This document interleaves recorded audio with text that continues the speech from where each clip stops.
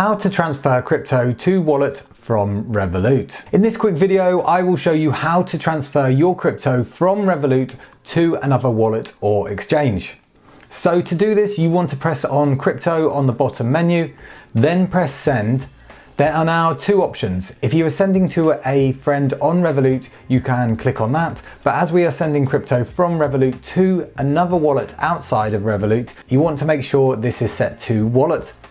Next, you want to pick the crypto you hold. As I hold Bitcoin, I'm going to pick this. Now, it's going to ask you to enter the address or scan a QR code of the wallet you are transferring to. It's always recommended to copy the address or scan the QR code of the wallet you're sending it to rather than typing it manually. On the next screen, you can enter the amount you want to send either as a crypto amount or as a fiat amount using the arrows to the right.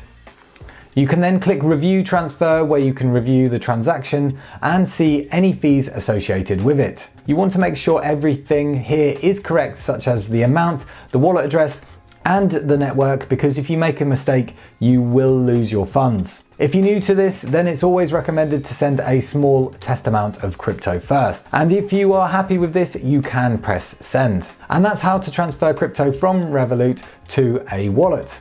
So if you got any value from this video, then please smash the like button and don't forget to subscribe as I upload new finance and crypto related content every week. And if you're just getting started with crypto, you may be wondering what's the difference between a coin and a token. So I recommend watching this video next.